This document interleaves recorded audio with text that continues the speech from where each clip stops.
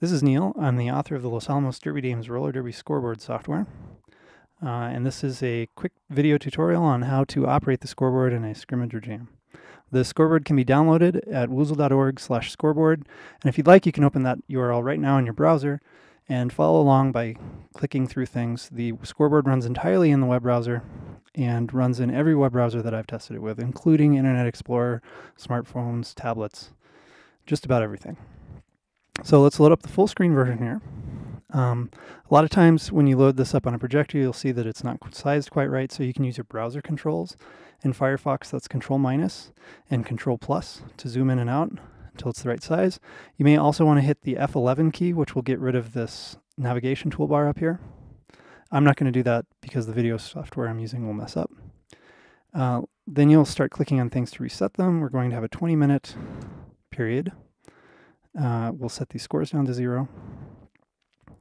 And we'll set the team names. We're going to have the Los Alamos Madam Bombs, our home team, versus a made up team called the Smallville Awesome Derby. And because they're made up, they don't actually have a logo. So we'll use one of these stock logos with a kitty, put their team name in there. And all this, again, I'm just clicking on to get these things. All right, now we're ready to go. So when the ref signals the start of the first jam, you can either click on the jam timer or you can hit the spacebar and it'll get going. Whoop, I clicked it twice. There we go.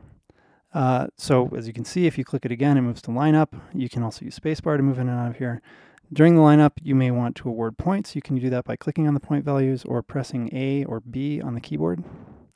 And Shift A and Shift B take them back down as well as clicking on the logo will also take it back down. So you can click on the number to take it up, logo to take it down, or you can use A and Shift A, B and Shift B. Move to the next jam. And now there's a timeout, let's say. So I clicked on the period timer up here, or you can press the T button to move to a timeout. During the timeout, you may want to uh, decrease the number of timeouts available to a team by clicking on the number there. Uh, if you click the wrong one, you can just keep going through and take it back to the original number.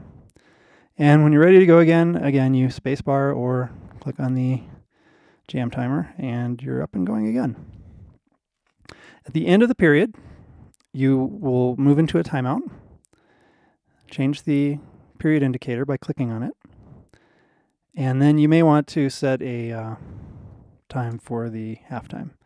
And to start this cl clock moving, you can just move into a jam with spacebar or click, and it'll count down. The jam timer will run down to zero and then stop.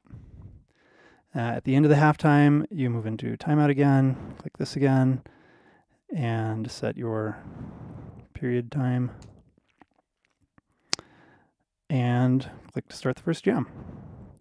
This indicator cycles through. So if you're in a break, which is maybe between a double header, and you want to move to the second bout, you once again move into timeout mode, change this, set everything up.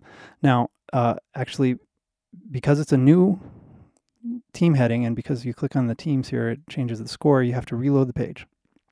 And you'll see that it actually remembers everything. This is in case your browser crashes. It'll come back up with exactly what you had before it crashed.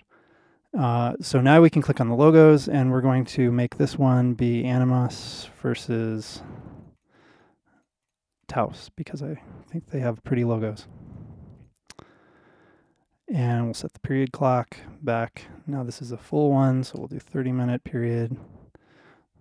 Zero this score out.